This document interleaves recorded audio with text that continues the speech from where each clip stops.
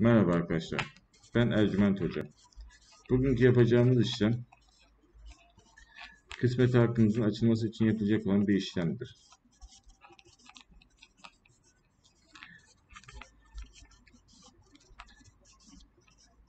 Nokta koyduğum yere adınızı, doğum tarihinizi ve anne isminizi alt alta gelecek şekilde yazalım. Ve daha sonra bu kağıdı çantamızda taşıyalım. Öncelikle bir ekran görüntüsü alalım. Bilgisayar çıktısı alıp çantamızda taşıyalım. 20 günlük ya da 25 günlük bir süreçte hayatımızdaki birçok şey olumlu hale gelecektir. Ayrıntılı bilgi almak isterseniz ya da özel bir işlem yapmak isterseniz de bana WhatsApp üzerinden ulaşabilirsiniz. Allah'a emanet olun. Merhaba arkadaşlar, ben Ercüment Hoca. Bugünkü yapacağımız işlem evlendirme işlemi. İçin bekleyip sürekli sorun problem çıkıyorsa bu sorunun önüne geçmek için yapılacak olan bir işlemdir.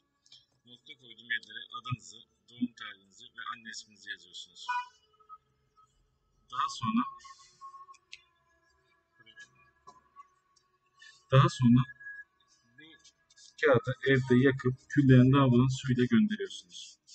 Eğer ki 25 gün içinde sonuç alamazsanız bana WhatsApp üzerinden ulaşın. Ayrıntılı bir çalışmayla sizlere daha farklı bilgiler verebilirim.